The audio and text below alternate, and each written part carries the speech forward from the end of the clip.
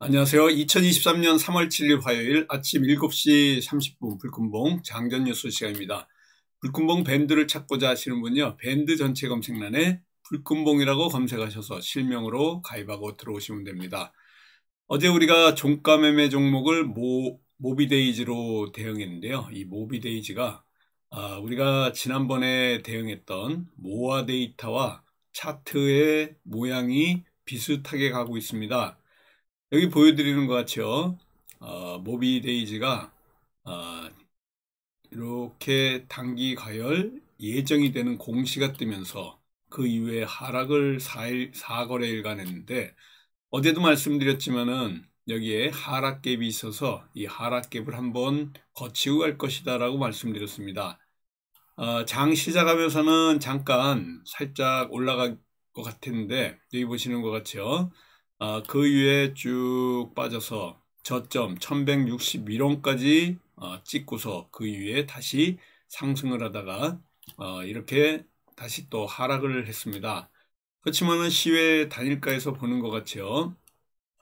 어, 첫 타임에 1210원까지 올라가지고 어, 16만 주가 시외에 거래되면서 1.1%로 종가 마감했습니다.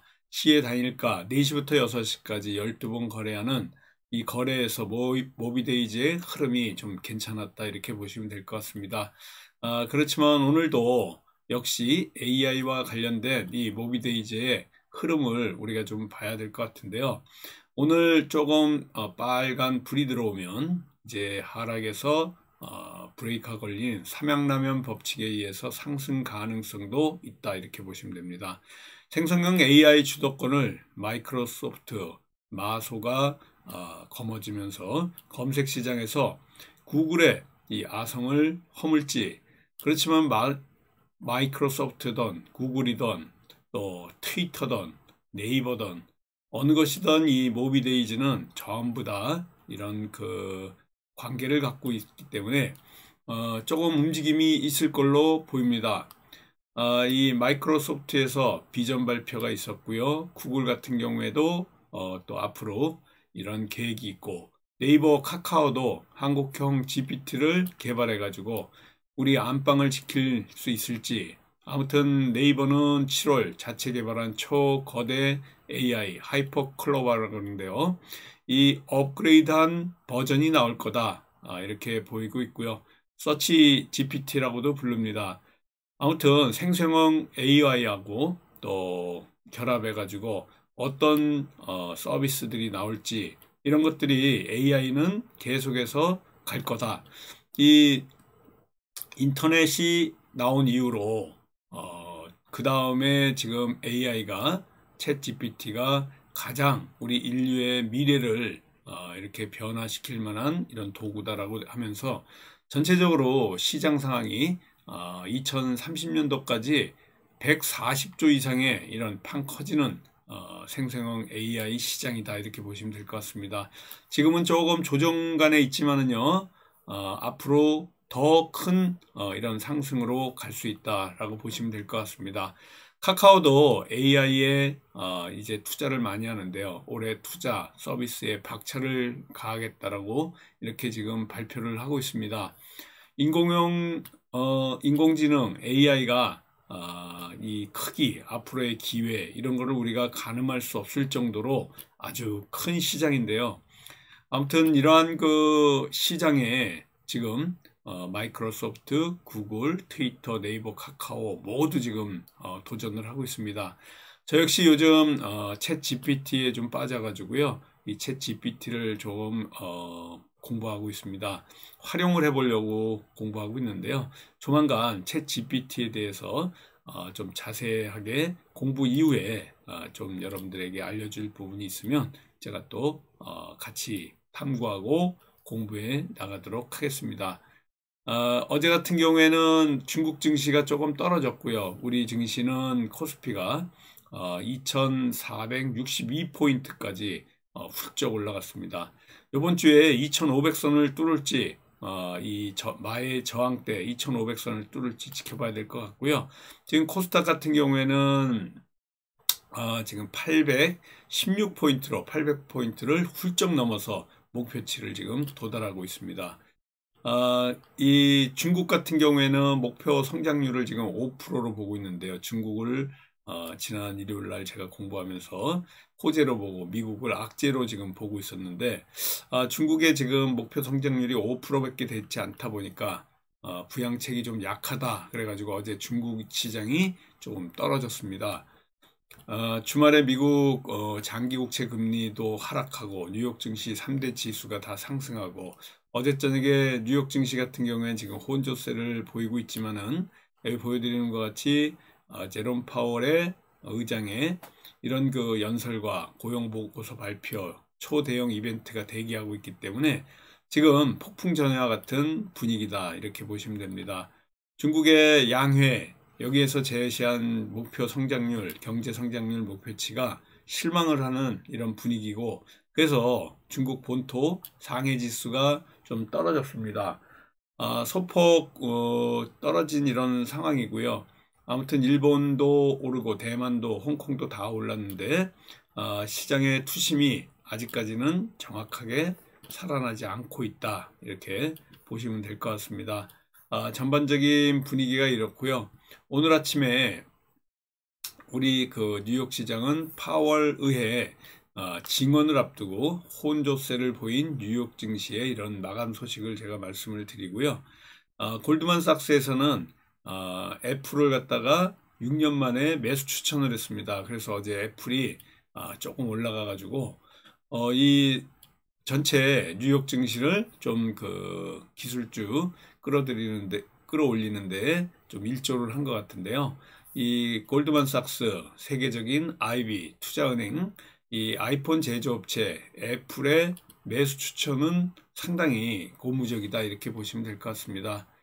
어, 제 윤석열 대통령이 기시다 일본 총리 어, 또 이 일본의 강정기의 강제징용 어, 피해 배상과 관련된 해법을 발표한 계기로 어, 상반기에 기시다 총리 일본 정상과 연쇄 회담 또 바이든과 이런 그 연쇄 회담의 가능성을 열어놓고 있는데요.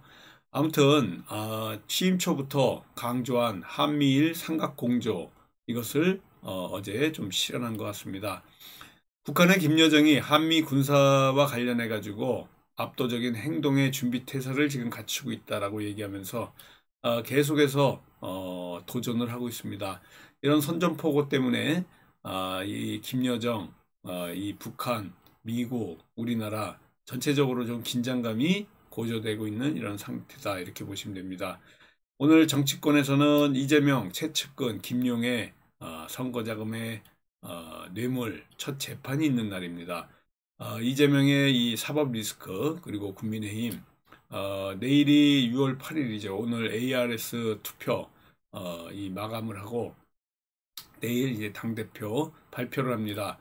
어, 과반수 이상의 득표를 해야 결선 2차 투표까지 가지 않는데요.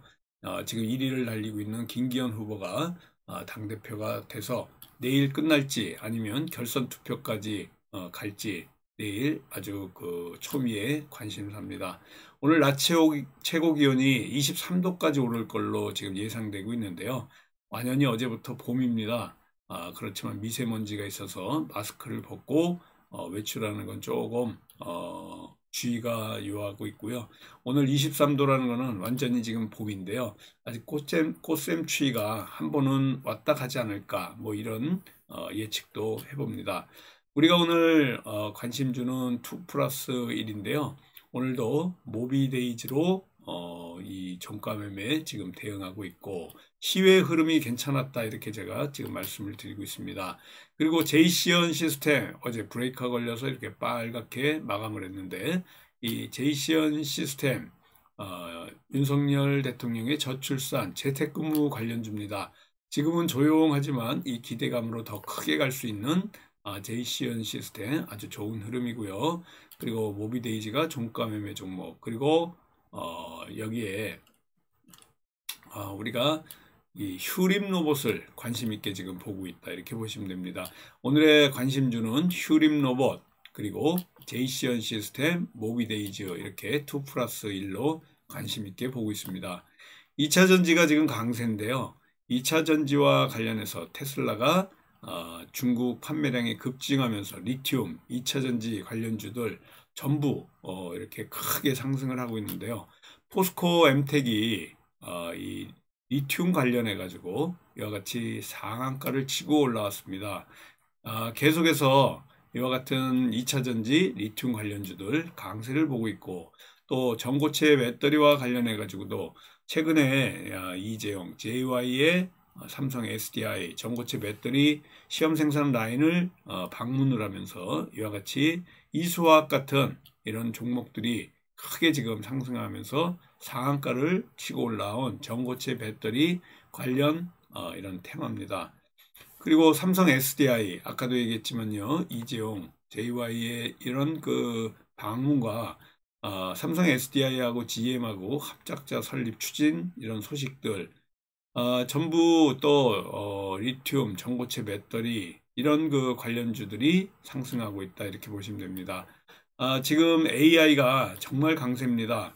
챗 GPT 열풍 때문에 글로벌 빅테크들이 전부 어, 이 AI에 뛰어들고 있는데요. 솔트룩스 같은 종목들을 계속해서 지금 상승, 상승하고 있습니다. AI 종목은 언제 어, 크게 이렇게 그 슈팅이 나올지 알 수 없는 가운데 있지만요. AI 관련 이슈들이 나올 때마다 어, 크게 상승할 수 있고 우리가 모비데이즈 같은 경우에도 AI와 어, 관련해서 관심 있게 지금 보고 있다 이렇게 보시면 됩니다. 아무튼 그 로봇 관련해서도요. 어, 지난번에 AI, 로봇, 데이터 이렇게 상반기에는 강세라고 말씀드렸는데 데이터 관련해서는 조금 어, 기운이 빠졌고 AI는 계속해서 강세를 보이고 있고요. 로봇 역시 어, 이 자율주행 로봇 어, 이런 그 관련해서 크게 상승할 수 있는 자리에 있다라고 보시면 됩니다. 그래서 AI 인공지능과 로봇 테마가 크게 가는 이런 그 종목들이다 이렇게 보시면 됩니다. 양자 컴퓨터 관련해서도 AI 기술과 양자 컴퓨터하고 결합이 된다. 그러면 이 어, 양자 기술이 AI 다음 테마가 될 가능성도 있다. 이렇게 보시면 됩니다. 양자 암호 통신과 관련해 가지고도 더 크게 갈 수 있는데요. 이런 그 관련해서는 KCS 같은 이런 종목들이 크게 양자 암호 어, 관련주로서 양자 관련주, 어, 양자 컴퓨터 개발과 관련된 이런 관련 테마로 올라간다 이렇게 보시면 되고요. 전기 어, 전기차 충전과 관련해 가지고 어, 역시 이 전기차 충전 테마도 움직일 가능성 굉장히 많습니다.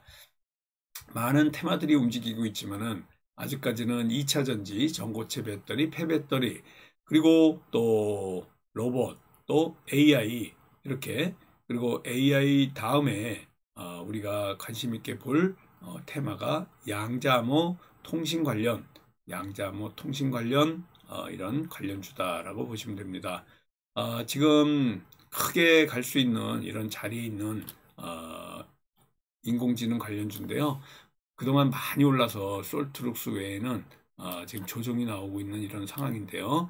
어, 전반적으로는 어, AI는 언제든지 크게 한번 슈팅이 나올 수 있는 이런 테마다라고 보시고 관심 있게 어, 공부하시고 챗 GPT 활용도 한번 해보시는 이런 기회가 되셨으면 좋겠습니다.